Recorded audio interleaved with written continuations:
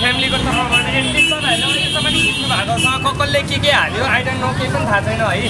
यहाँदेखि उता चाहिँ हामी फ्यामिलीहरूलाई आज हाम्रो भाइसँग इन्जोय गर्न दिनुहोस् है। हम्बल रिक्वेस्ट तपाईँहरू सबैलाई। भित्र क्यामेरा अलाउड छैन भनिरहेको छ है। मैले यहाँसम्मको लागि बरु रमेश हिँड्दै आउँदा यहाँसम्म। यहाँदेखि उता चाहिँ एउटा मानवताको हिसाबले गर्दा पनि हाम्रो भाइलाई चाहिँ एटलिस्ट हामीले इन्जोय गर्न पाऊँ आजको एक दिन चाहिँ। भोलिदेखि बरु पार्टीमा जे गर्नु हामी केही भन्दैनौँ। तर एटलिस्ट आज हामीले हाम्रो तरिकाले होइन भाइको बिहे सेलिब्रेसन गरौँ उसको पनि प्राइभेट लाइफ छ नि त होइन। अर्को कुरा हिजै भाइले पनि धेरै कुरा भन्नुभएको छ। होइन म यस्तो छु भोलि सिँदुर हालेको अर्कैतिर होला के होला त्यो चिजहरू तपाईँहरूले बजाइदिनु होला। मलाई यसरी नउठाउनुहोस् प्लिज भन्ने खालको कुराहरू पनि तपाईँमा आइसकेको छ कृपया प्लिज अहिले यति मात्रै भन्न चाहन्छु। आजको बिहे हामी फ्यामिलियर भएर भाइसँग एटलिस्ट रमाइलो गर्न चाहन्छौँ है। अनि तपाईँहरू सबै आनन्दले यत्तिकै दिनभरि क्यामेरा स्ट्यान्ड बाई भएन भने बेहुली लाने बेलामा एकचोटि बेहुला र बेहुलीसँग गफ गराउने बाटो पनि बरु मिलाउन सकिन्छ। हो त्यो चाहिँ मिलाउनु सक्नु है त्यति चाहिँ बरु मिलाउन ल ठिक छ ठिक छ यहाँ भित्र चाहिँ तपाईँले आफ्नो तरिकाले गर्नु। भने हामीले है। हामी भित्र बाहिर। भित्र चाहिँ गर्नुहोस् आफ्नो तरिकाले। फ्यामिलीकै तर्फबाट है भित्र चाहिँ आफ्नो तरिकाले गर्नुहोस् सौभाग्य यति चाहिँ दिनुहोस् है कृपया है। हामीले अब यहाँदेखि भित्र बसेर तपाईँहरू अपशब्द बोल्न नपरोस्। ल हस् हुन्छ हुन्छ दाजुहरू है। बजाउँदै जाऊँ न। नजाऊँ न उता नजाऊँ न